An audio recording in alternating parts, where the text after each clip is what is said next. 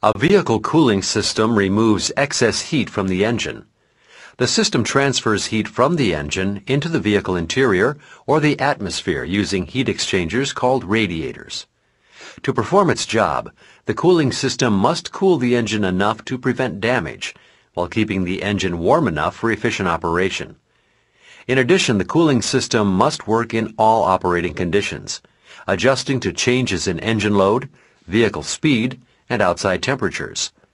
Finally, the cooling system must contain increased pressures created by engine heat. Cooling system must carry heat from inside the engine to the atmosphere. The system uses a liquid called coolant to accomplish this. While our coolant contains some water, pure water makes a very poor coolant. Pure water allows damaging corrosion inside the cooling system, boils at a relatively low temperature, freezes easily, and has poor lubricating properties.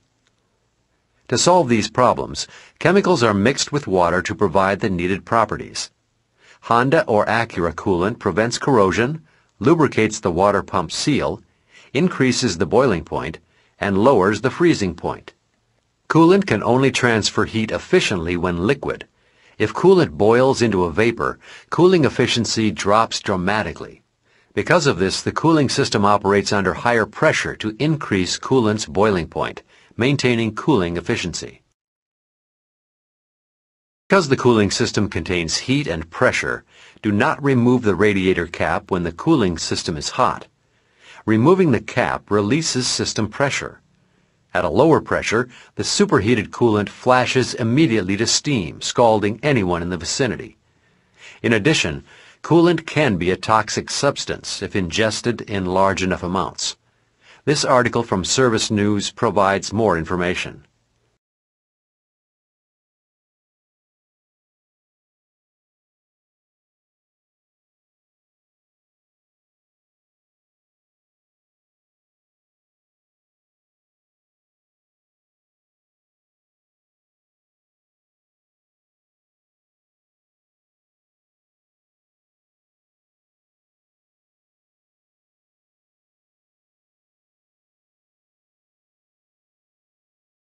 Water pump uses an engine-driven impeller to draw water from the radiator and pump it into the engine water jacket.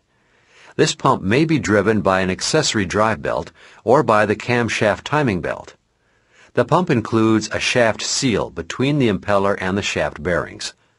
During normal operation, this seal may allow small amounts of coolant to leak past, which can drip out of passages in the water pump housing called weep holes. This hole may normally contain a few drops, but if the pump seal fails, a steady stream of coolant flows out.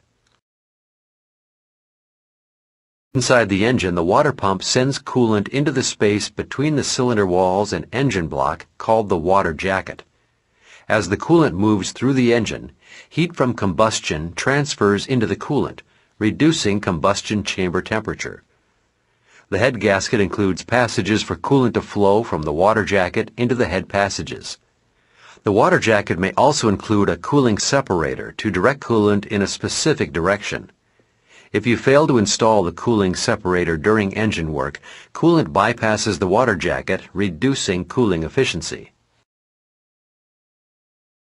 The cooling system typically includes several additional engine-mounted components.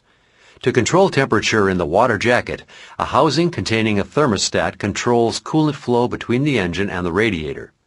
The thermostat is a temperature-controlled valve. When the engine is cool, the thermostat stays closed to prevent coolant flow. As the engine warms up, the thermostat opens to allow coolant flow and controls flow to maintain a target temperature.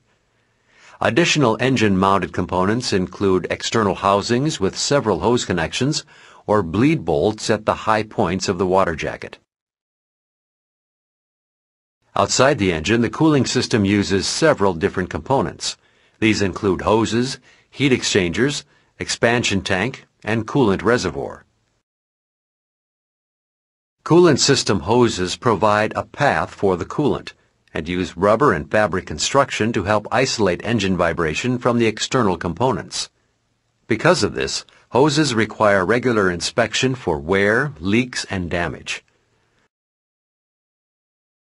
The radiator and heater core both act as heat exchangers to dissipate engine heat from the coolant to the air.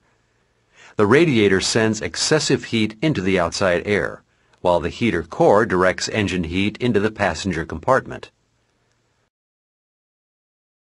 The cooling system also includes an expansion space and radiator cap at the highest point. Typically these parts are at the top of the radiator, but some vehicles use a remotely located radiator cap or include an expansion tank above the engine. Any vapor in the cooling system collects in this space. During engine operation, the cap allows pressure to build in the cooling system.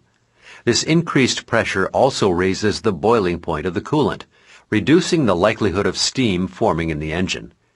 If the cooling system exceeds a preset pressure, the radiator cap vents coolant and stores it in a coolant reservoir. The coolant remains in the reservoir until needed. If the system pressure drops below atmospheric pressure while the system cools, the cap allows coolant to return to the engine, filling any voids in the expansion space. The cooling system typically includes electric fans to increase airflow through the radiator at low vehicle speeds. The fan control circuit always starts the fan at high engine temperatures, but may operate the fan at other times. When the driver activates the air conditioner, the cooling fans run continuously, also, be aware that high engine temperatures can cause the fans to run with the ignition turned off. During vehicle maintenance, the cooling system may require inspection or service. This includes visual checks, coolant testing, and coolant replacement. During a visual inspection, check rubber hoses for bulging, deterioration, or rot.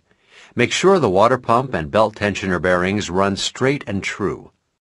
Rotate the tensioner and water pump shaft to check for roughness and rock the flange or pulley from side to side.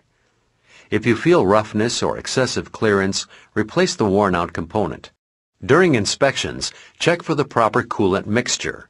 Incorrect mixture strength affects the boiling and freezing points of the coolant. Also check the coolant's age. Coolant's corrosion protection and lubrication properties both decline with time. If your coolant checks identify a problem, replace the coolant with our factory pre-mixed coolant. This coolant requires no additional mixing and is engineered to meet the needs of Honda vehicles. If the vehicle is losing coolant, inspect the cooling system for leaks. As always, start with a visual inspection. There are three types of coolant leaks. First, hoses can leak at the connections or from holes. Second, components such as the water pump or radiator can leak from seals or seams. Finally, gaskets on the engine can leak due to age or corrosion. Check the hose ends for drops of coolant and check the underside of the hoses for leak trails. Also look for streaks of coolant in the engine bay caused by a pinhole leak in a hose. Look at the water pump, radiator, and heater core for visible leaks. Check the water pump shaft and seal by looking at the weep hole for evidence of a coolant stream. When checking the radiator and heater core, check the core for wet spots and look for coolant droplets at the joints joining the tubes with the end tanks. Finally, check for coolant leaks at the machined surfaces of the engine. These joints typically use flat gaskets, but a few components use a rubber seal. These joints typically leak once the engine warms up and are unlikely to show leakage during a visual inspection on a cold engine.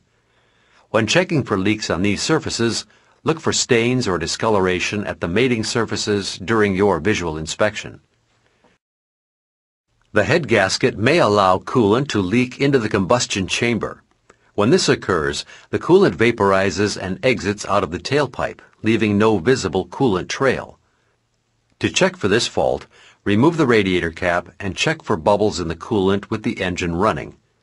With no pressure in the cooling system, a leaking head gasket forces combustion gases into the water jacket, and the gases appear in the radiator as small bubbles.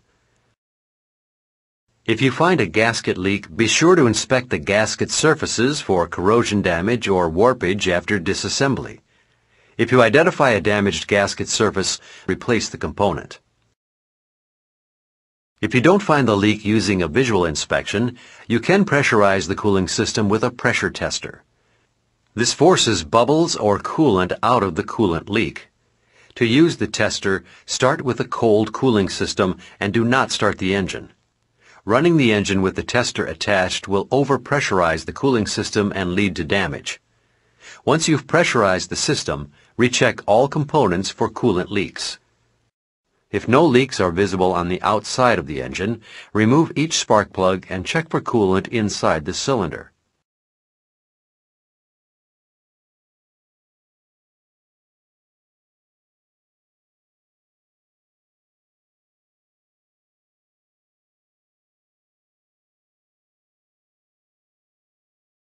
Also check the radiator cap using a test adapter.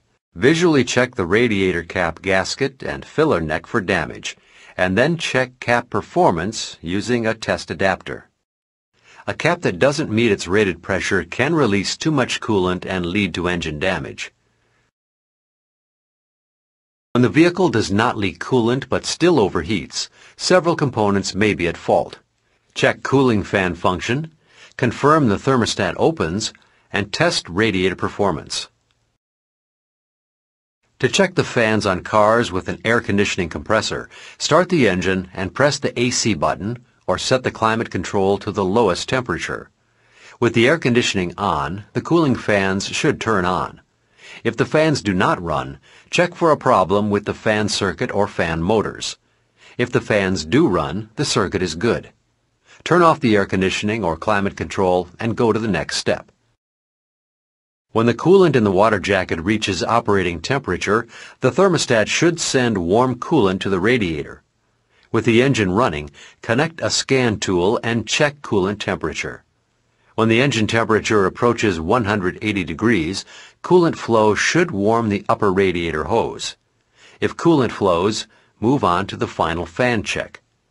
If the engine temperature exceeds 210 degrees and there's no coolant flow, check the thermostat using the service manual procedure. If the thermostat opens normally, make sure the fans run to cool the engine. If the engine reaches 210 degrees and the fans do not run, check the fan control circuit. If the fans run but the engine temperature remains high, make sure both fans blow air toward the rear of the car. If a fan blows in the wrong direction, the fan harness is defective. To repair this problem, reverse the leads in the fan connector. If the thermostat and cooling fans are working correctly, check the radiator performance. Using an infrared thermometer, measure the temperature difference between the upper to the lower hose. There should be a minimum difference of 15 degrees Fahrenheit between the two hoses. If there's insufficient temperature change between the hoses, check the front of the radiator for blockage caused by dirt, insects, or debris. Finally, check the radiator for internal problems such as plugged tubes. When replacing the coolant, be sure to follow all service manual procedures. This helps guarantee you've drained the coolant from all portions of the cooling system. Many service manuals ask you to start by turning on the ignition and setting the temperature control to high. This opens the heater control valve to make sure coolant drains out of the heater core. On some vehicles, removing the radiator drain bolt only drains coolant from the radiator. For these vehicles, the service manual asks you to open drain plugs on the engine block, which drains coolant from the remainder of the cooling system. Finally, the manual instructs you to remove the coolant reservoir, flip it over, and drain the last of the coolant in the system. Once you've drained the coolant, prepare to refill the cooling system. Replace and tighten the drain bolts and remount the coolant reservoir. Refill the reservoir until the coolant reaches the max full line.